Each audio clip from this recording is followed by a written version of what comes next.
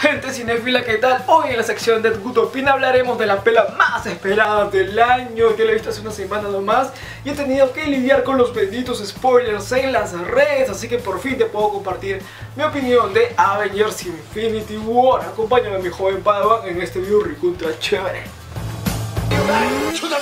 Cinéfilos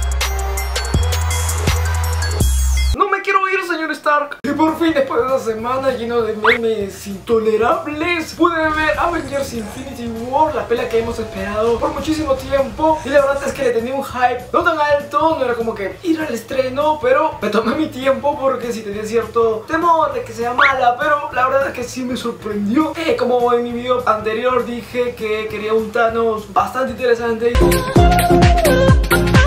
sí, nos dieron un Thanos realmente prometedor. Y la pela va más o menos en que Thanos, que lo hemos visto en estos 10 años en los post créditos, por fin sale a la luz, sale en busca ya de todas las gemas del infinito. Y pues se va a enfrentar obviamente a los ex Vengadores junto al team de Guardianes de la Galaxia. Y todo un crossover súper épico porque la película sí es súper épica, Thanos queriendo destruir medio mundo para salvarlo en esta su filosofía que él tiene. Y para empezar pues sí, es una pelea bastante chévere, me, gustó, me divertí, eh, me gustaron mucho las peleas super épicas, todo el crossover estuvo bastante cool. Desde un principio vemos ya a Thanos en todo su esplendor junto a su team. Creo que no pasa ni 5 minutos y ya vemos a un personaje del UCM morir, eh, que es Loki. Y vemos a Hulk teniendo el primer enfrentamiento con Thanos y Thanos es demasiado poderoso. Trata como un chancay a 20 a Hulk y creo que por eso tiene un problema con Bruce Banner. En toda la cinta ya no vemos a Hulk, sino vemos a Bruce Banner combatir con Hulk que no quiere salir Pero todo el, inicio está súper súper cool En verdad está muy furioso Thanos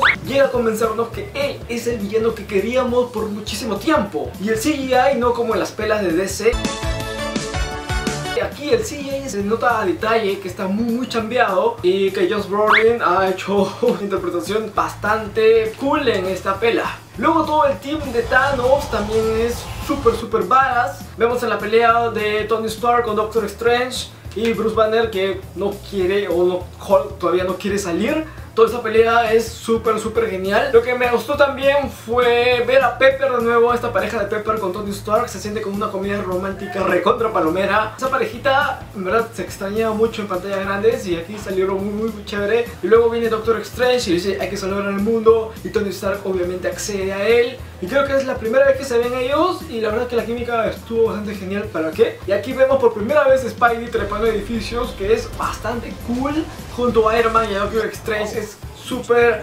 hermoso ver este crossover. Luego de eso Tony Stark le da el Iron Spidey y es súper, súper épico. Es un traje bastante awesome en verlo en live action, de estar ahí metidos en los cómics o en dibujos. Aquí el traje se ve estupendo, se ve genial. Y hay un detalle que he visto, es que Spidey es cinéfilo como tú y como yo y quiero hacer como que un video especial sobre eso porque pues hace una referencia a Alien en esta pela de Infinity War y eso lo hace bastante cool y cinéfilo. Luego sí sentí un poco cuando meten al team de Guardianes de la Galaxia. Es como que no tiene un hilo, no tiene una línea, no sé, coherente. Y lo que tampoco me gustó es que los Guardianes de la Galaxia aquí lo tratan como cualquier cosa, ¿no? Se siente el team cool de volumen 1 o de volumen 2. Star-Lord también me cayó súper súper mal, no porque él fuese el que arruinó el plan para quitarle un guantelete a Thanos, sino que en verdad en toda la pelea es como que no tiene personalidad, es como que no sabe qué hacer, no sé, me cayó súper súper mal. Y lo interesante aquí es Thanos, que tiene una historia detrás con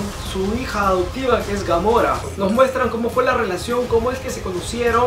Hay una escena donde Thanos le agarra la mano cuando Gamora es niña y hay un cuando Thanos quiere conseguir la gema del alma, pues tiene que sacrificar a alguien que ama de verdad. Y en esa escena me acuerdo que Gamora se ríe porque piensa que Thanos no ama a nadie. Y en verdad sí, tenía su corazoncito y amaba a Gamora. La quería como una hija de verdad. Y hay un símil, obviamente sí, porque la agarra de la misma forma. Y obviamente todos sabemos de esa escena bien fuerte a lo tipo Gwen Stacy cuando se cae. Es demasiado fuerte y consigue, sí, la gema del alma. Como que lo paja aquí es que Thanos no es tan plano, sino que tiene un balance entre como que medio feeling y querer combatir con él mismo para destruir un montón de planetas. Lo que sí sentí de más en esta pela fue la batalla épica en Wakanda. Es como que, ok, me metieron mucho flor en esta escena. Es como que, ok, ya que empieza, ya que arranca, que acelera. Se toma su tiempo para, pues, tener toda esta batalla. Mucho floro, diría yo. Los personajes que así lo tengo aquí como que en el bobo es a Rocket y a Groot. Son unos personajes sumamente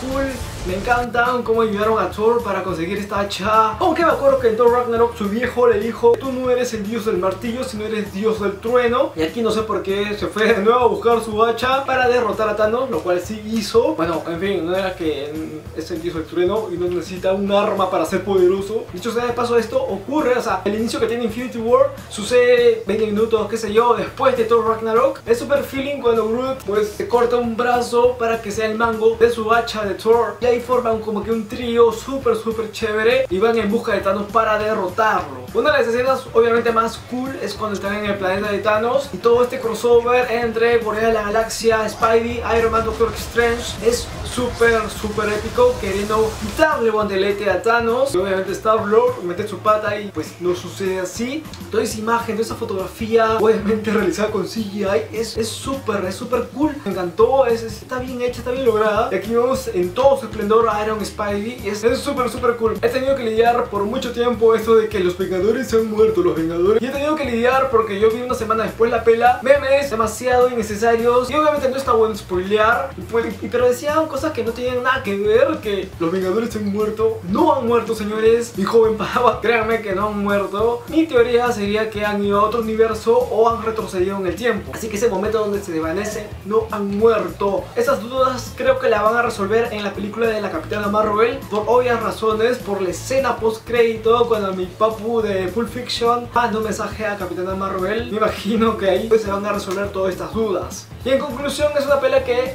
me emocionó demasiado, hay escenas súper épicas no puedo hablar mucho como que la parte técnica porque es una película como un poquito comercial, no hay tanto que ver. Eh, si pudiera destacar algo serían los grandes planos generales y ponen abajo el mundo en donde están. Por ahí algunos escenarios super cool, aunque casi todo era CGI, así que más nada. Pero lo que le tenía miedo a ver a Thanos, que sea como que tan plano, y obviamente no es así, es un personaje que tiene su historia detrás, que tiene una razón, tiene una filosofía que de repente en un punto llegas a pensar y dices como que sí, tiene razón, pero obviamente no. O sea, que tranquilos, no hay un Thanos, no van a destruir medio mundo. Yo la disfruté, la pasé súper genial. Es una de las pelas que sí pueden estar dentro de una de las mejores pelas de Marvel, ¿por qué no? No es una mala pela como Age of Ultron, eso sí. Así que yo sí estoy ya un poquito más hypeado para ver la segunda parte y para ver Capitana Marvel, porque quiero resolver todas estas dudas que tengo me han dejado así como que uh, intrigado por muchas cosas. Y mi puntaje ahora, ahora porque me imagino que en un futuro pues baje o aumente,